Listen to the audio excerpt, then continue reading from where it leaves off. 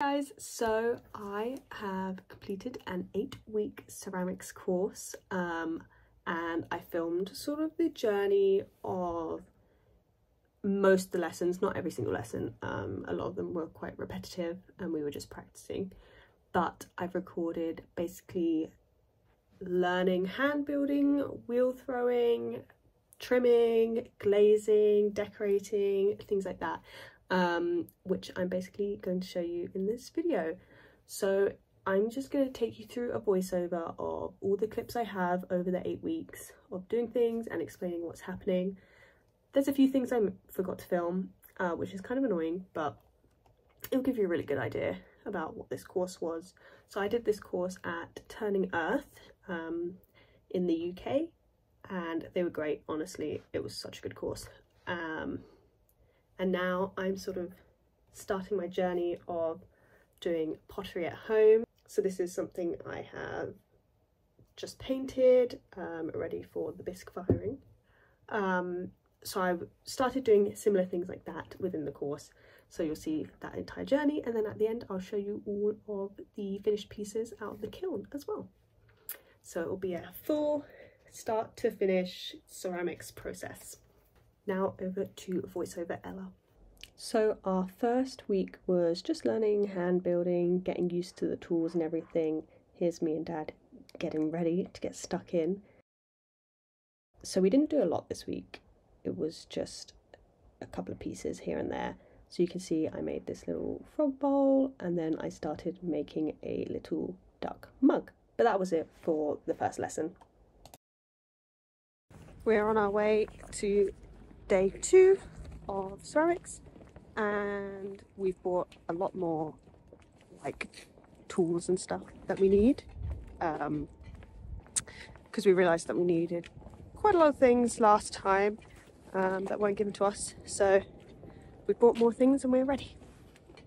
In the second week I added a couple of details onto the duck and did a bit of detailing then we started to paint a couple of our pieces with, um, this was slip glaze, which I've never heard of before, but it was cool stuff. Very pigmented. His dad brushing it onto his very cute sun spiral plate. And then this is my little duck guy with some colour on. He's holding a little pocky stick. Um, yeah. And then here are our pieces ready to dry out and then they can be bisque fired. Oh, here's another random clip of dad painting one of his plates. He went a little bit crazy on this one, not gonna lie. And then these are them out of the bisque. Okay, that was fast. Then we went into our next lesson, which was number three, and this was wheel throwing. And this was my first time throwing on the wheel as well as dad's. Um, so you can see here, me here struggling to center the clay. That was the hardest bit. Centering the clay and then pulling up the walls was really, really difficult. But we, we made a few cool pieces by the end of it. I think I do prefer hand building though. I also didn't realise the angle on this was way off. So here are a couple of pieces that I threw. A little bit wonky that I can fix up later. It's fine but they were thrown. This one was my favorite. So cute. So then we started trimming the week afterwards um, and that's when the clay is sort of leather hard not super soft and you can start to detail make it smooth um, and add in any sort of things that you want I'm adding a foot rim to the end of this little cut that I did.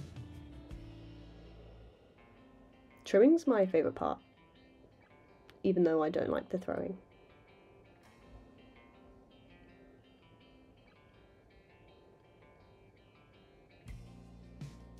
So you can see here uh, it's trimmed and then I added some little details on to make a little pig and then I painted a little bit of detail onto there and then I was going to glaze this fully in pink at the end, so it's like a little piggy. There he is on the Shelf of Doom. by the end of this lesson we had thrown and trimmed quite a lot of pieces. Um, I'm just going to show you a little bit more of the trimming process. Dad's bowl looks incredibly good, very jealous.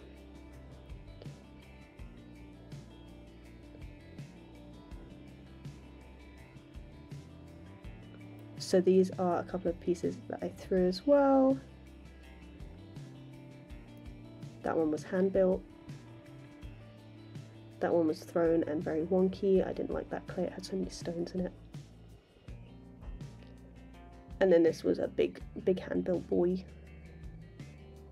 which I was going to attach these on as handles. Then we started adding details onto our pieces. This one is going to be a capybara mug. Um, oh no, this one's the raccoon mug. You'll see that in a second. So I added the details on, and then I painted with the slip glaze. Look how cute he is! And then I painted my little kitty cat. The end does not look like this, by the way, after I glazed it. And then I painted my little frog in his little spaceship mug as well. So then everything got bisqued and you can see we lost a few pieces. My pig and the astronaut frog got broken, which is really upsetting, but it is what it is, it's pottery. And then I forgot to film the glazing process, but here's everything that we glazed and dipped. Um, we had a lot of stuff, so yeah, uh, yeah. So I have just got back from picking up um, my finished ceramic pieces from the course I'm really excited. Um, a few of them didn't come out as good as I wanted them to. But, so I'll show you those first. I'll show you the disappointing ones first. So this little guy here, uh, my colleague said he looks like a platypus. It's supposed to be a duck and the colours just didn't come out very well. This was the first thing I made like ever ceramics so I still really like him he's still super cute but just didn't come out how I wanted him to the second thing I ever made was this little frog pot. I should have painted a face and stuff on it but oh well. Um, I still like him. He's pretty cute. Um, I'll probably use him for painting and putting water in.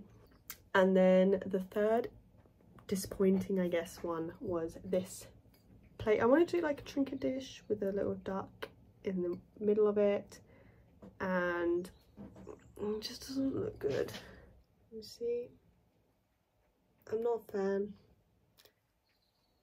but it exists.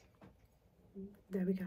But then I tried some wheel throwing, um, as you saw.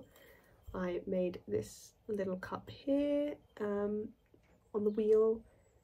It's very lopsided, not the neatest thing I've ever done, but I actually like it.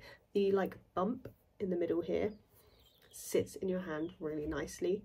I think this will be too thin to have hot drinks in it, but I'm going to do a hot drinks test. But yeah, that guy. Then I was wheel throwing and I had this one made and then I was trying to like pull this one off the wheel onto the same slab of wood and then I dropped it. So that's why they are like indented, but I actually really like the look of that. I think it looks really cool and I love the glaze on this.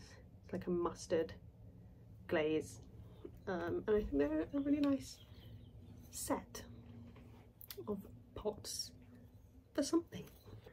Um, I then made this cute little guy. He's going to be a little chopstick holder. Look at him. So cute. I'm very happy with this. He's very tiny. Then I did a hand-built mug where I painted it. Um, this one came out quite smooth. It's really heavy. This one I think you could put hot drinks in it and it would be fine. Um, but that's the little cat painting.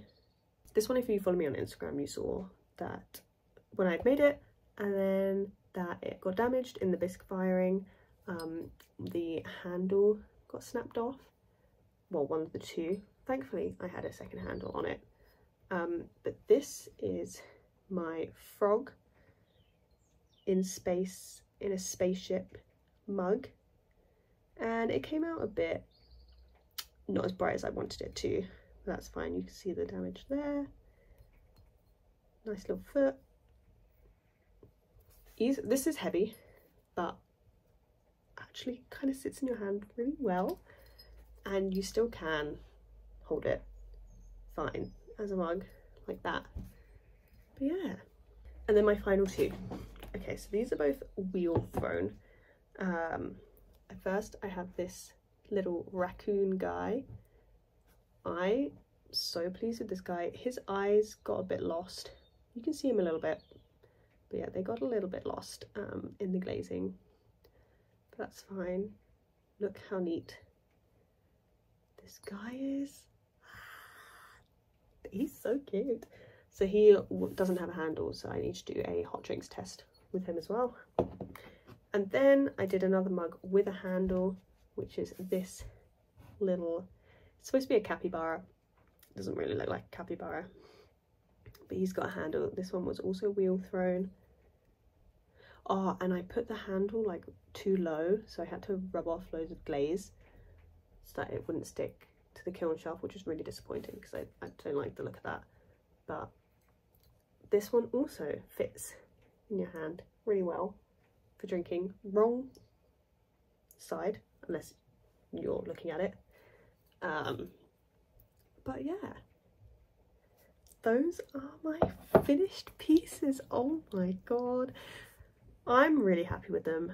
Um, and I'm really proud of myself for doing it and getting all this stuff done.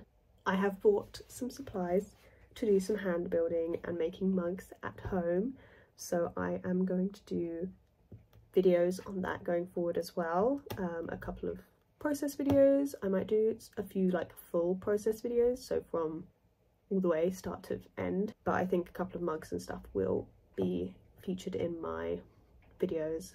And then once I get slightly better I might start selling them and doing commissions as well as my polymer clay. But yeah I hope you liked what I made and I hope you enjoyed this little very short journey of my eight week course doing ceramics. Let me know what your favorite piece I think mine is definitely this one in terms of overall functionality but something about this one just really does it for me. Love it. And I will see you in the next video. Bye guys. So today I am testing this mug and I've noticed a problem that I didn't quite think of is because they're both concave it's very hard to drink from. You really do need like a tall like a straight edge to drink out of like that as opposed to something that's like bending inwards. It's quite difficult. But yeah because it's concave it's really hard to drink from. It's not hard but it's not good you know? Okay i'm gonna heat test two mugs. This one i'm just gonna put because this is thicker i'm just gonna put um boiling water in and then this one is thinner uh, I actually want a cup of tea so I'm going to see how much tea it makes. This is mildly terrifying. I mostly want to test how hot they are to like hold. This one feels okay so far. this one's very hot already. Okay.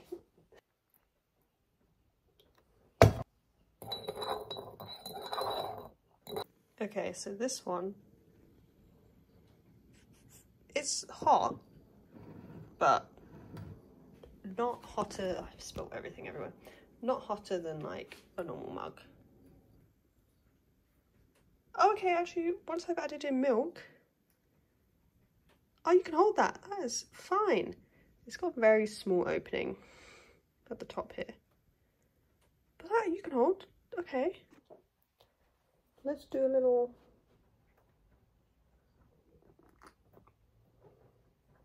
because it's concave, terrible to drink from, but completely holdable. Oh, and the nose gives you a nice little. Hmm. Lovely.